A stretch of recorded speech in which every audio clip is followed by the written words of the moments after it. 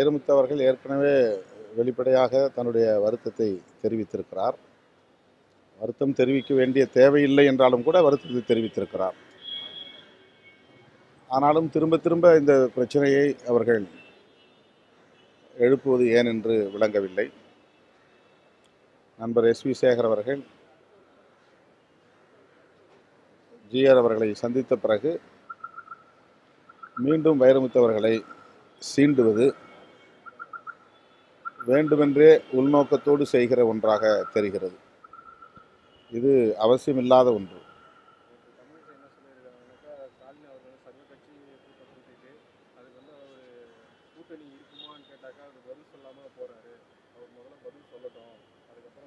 இல்லை தேர்தல் கூட்டணி பற்றி இப்போதைக்கு சொல்ல வேண்டிய அவசியம் இல்லை இது கா காலப்பொருத்தம் இல்லாத ஒரு கேள்வி.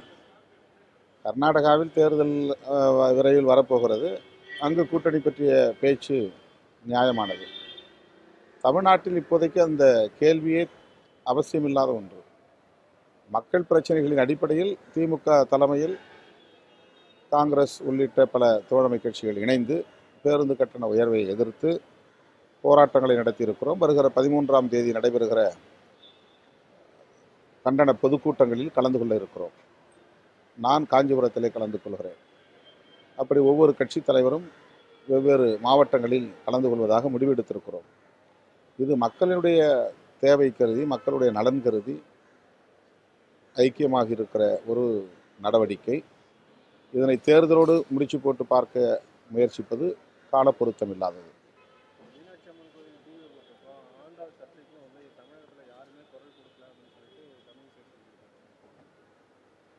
அதைவிட அதை விட பெரிய பிரச்சனைகள் நிறைய இருக்கின்றன. மின்வாரிய தொழிலாளர்கள் போராடும் தொடங்கியிருக்கிறார்கள் அறிவித்திருக்கிறார்கள். பேருந்து கட்டண உயர்வால் சாதாரண மக்கள் கடுமையாக பாதிக்கப்பட்டு வருகிறார்கள். ஆகவே மக்களுடைய பிரச்சனைகளை பேசுவது முதன்மையானது. இவர்கள் தேவையில்லாத பிரச்சனைகளை எழுப்பி அரசியல் ஆதாயம் தேட பார்க்கிறார்கள்.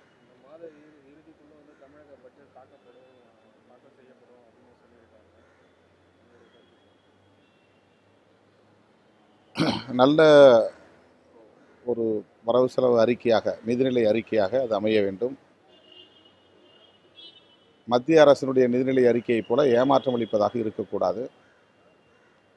ஏழை எளிய மக்களின் மீது வரிச்சுமை இல்லாமல் கட்டண உயர்வுகள் மேலும் இல்லாத வகையில் அந்த பட்ஜெட் அமைய வேண்டும் என்று எதிர்பார்க்கிறோம் சார் தமிழக தமிழகத்தில் நீட் தேர்வு ரத்து செய்வது கொஞ்சம் இரநூறு வந்துச்சு மீண்டும் வந்து தமிழகத்தில் நீட் தேர்வு வந்து மே ஆறாம் தேதி அறிவிச்சிருக்காங்க இதை பற்றி இப்போ நீட் தேர்வு வந்து தற்போது சிபிஎஸ்இ பாடத்திட்டத்தில் படிக்கிற மாணவர்கள் மட்டுமே எழுத முடியும் என்கிற ஒரு நிலையை ஏற்படுத்தியிருக்கிறார்கள்.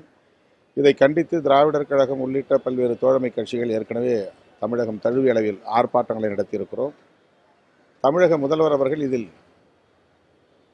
மெத்தனமாக இருக்கக்கூடாது. பிரதமரை சந்திக்க வேண்டும்.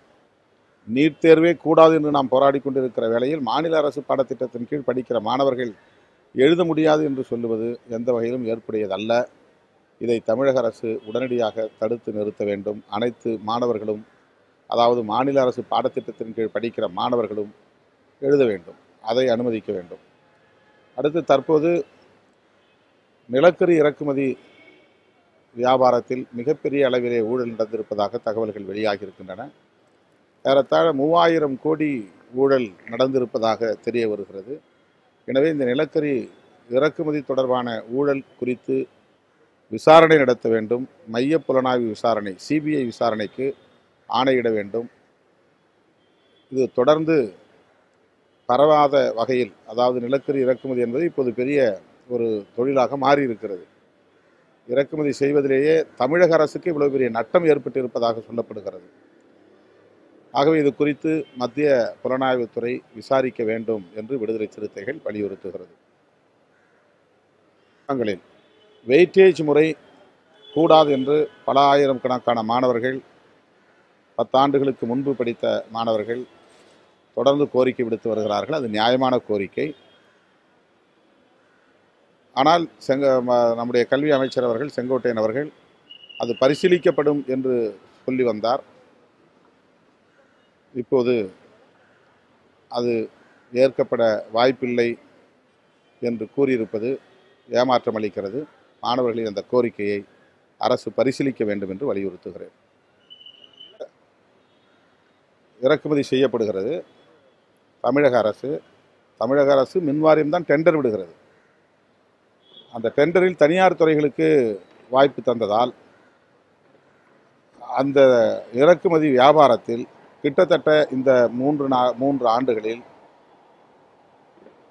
மூவாயிரம் கோடிக்கு மேல் அரசுக்கு நட்டம் ஏற்பட்டிருப்பதாக தெரிய வருகிறது. ஊழல் நடந்திருப்பதாக தெரிய வருகிறது. எனவே மத்திய புலனாய்வுத்துறை விசாரிக்க வேண்டும்.